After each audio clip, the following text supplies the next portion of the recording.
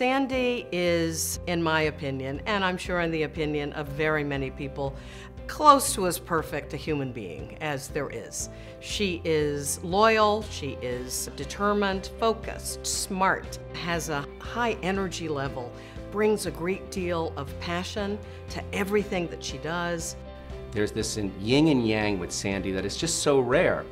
She has this ability to cut through issues, do all the strategic planning, and yet at the same time listen and really help to cut through and really get at the heart of how you're there to help children and how our staff is feeling and how the organization is doing. It's a remarkable combination. Sandy is omnipresent and when you are sitting around a boardroom table or in a strategy session, her voice is always reasoned, it's always impassioned, and she always has a point of view that moves the conversation to another level.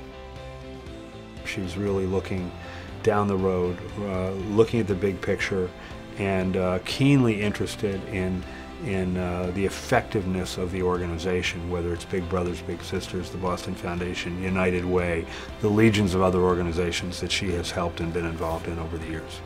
Sandy's passion for giving back to youth organizations stems from one thing, and that's access. Access to education, access to fitness, access to arts, and most importantly, access to hope and opportunity for their future. And when you give those young people that access to hope and opportunity, you're not only strengthening the community today, but into tomorrow. Sandy's a force.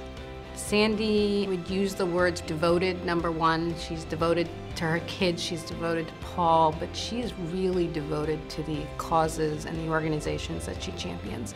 And she doesn't take it lightly. Uh, when Sandy gets involved, it's full throttle. Sandy's gifts go beyond her unbelievable financial generosity, but she brings such a strategic and creative way to thinking about nonprofits and how to run a nonprofit, specifically here at Boys and Girls Clubs of Boston.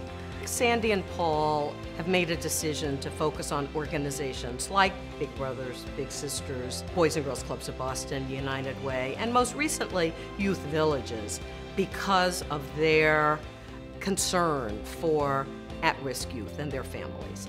She has just got a tremendous capacity to bring insight, focus, and energy to fundamental organizational questions that are going to determine, you know, whether people get helped or not. You probably can't scratch any good thing in this town in Boston and not find Sandy Edgerly behind it. It's just remarkable, her reach, her ability to dive into things. She's moved so many organizations forward. I can certainly speak for City Year. Sandy focuses so much on youth-serving organizations because she cares about her community. And if you truly care about the community you live in, then you're always going to care about the future of the community. With youth-serving organizations throughout the city, it's Sandy's touch is everywhere. Sandy thrives on results. Uh, that's why she is in this, to actually make a difference, make an impact.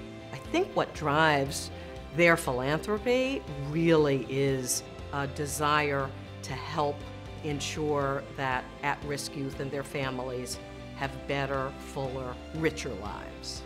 When it comes to mission, it's all about kids for Sandy. Uh, and I think she approaches it as a mom and as a committed citizen and really realizes that our children are our future and we need to invest in them. On behalf of Big Brothers Big Sisters of Massachusetts Bay, it's my honor to present the fifth annual Jim Pallotta Award to Sandy Edgerly. Congratulations, Sandy.